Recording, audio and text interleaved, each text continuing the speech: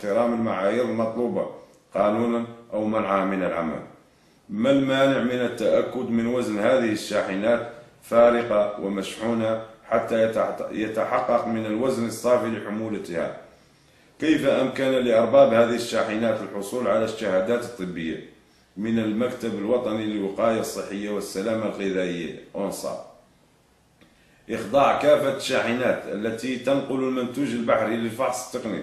وضرورة التزامها بالمواصفات اللازمة توفرها في الشاحنات الناقلة للمنتوج البحري وأن تحضر لجنة مختلطة كافة عمليات الشحن. جميع الأسماك نظرا للتصريحات الكاذبة بوزن ونوعية السمك الذي التي يؤخذ بها دون أي تحقيق وقد الطرف عن الخروقات والتملص عن دفع الرسوم المستحقة بتزكية من طرف المكتب الوطني للصيد البحري والطبيب البيطري.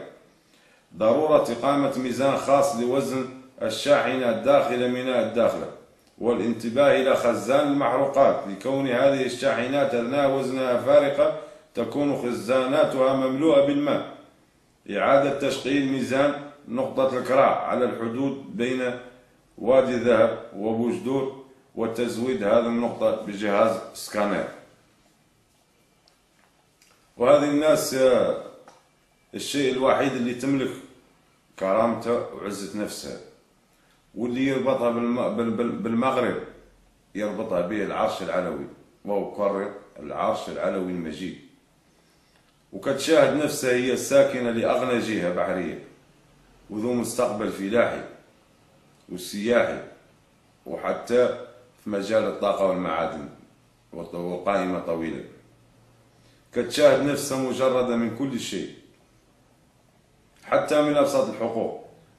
والوقت اللي جينا نوقفوا فيه هذا الشيء. ولينا كنتهموا بالانفصاليين وبأننا كنخدموا أجندات البوليزاريو. ونسلوا بي اللي يتهمنا إحنا بهذا الاتهام بأن اللي كيخدم أجندات البوليزاريو هما هما واللي كيعطوه المواد الدسمة الإعلامية.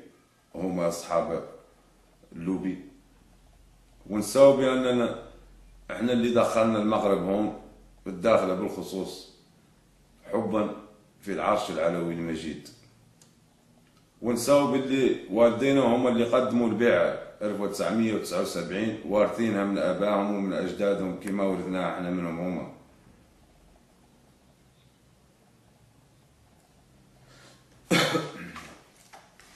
اللي اللي اللي اللي كيوقع في مياه الأقاليم الجنوبية بالخصوص من الداخله ونساو باللي باللي باللي باللي باللي باللي والدينا إحنا هما اللي دخلوا. كما قلت المغرب بدمائهم وبسالتهم طردوا المستعمر الموريتاني انذاك ونساو بأننا أولاد الرجال اللي قدموا البيعه واللي اهدى المغفور له الحسن الثاني. الأسلحة. وهذا إن دل إنما يدل على حبهم وارتباطهم بالعرش العلوي المجيد. ونحن على العهد سائرون. وإحنا مع الملك والله ينصر الملك وحد كامل باغي يدخلنا السياسة راه هو أكبر ديكتاتوري وهو أكبر مختلس وهو أفسد الفاسدين.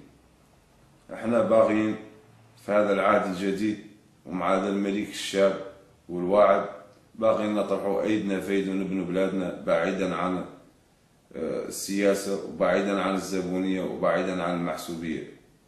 والسلام عليكم ورحمة الله. والخير موجود خاص غير العدل. كل شيء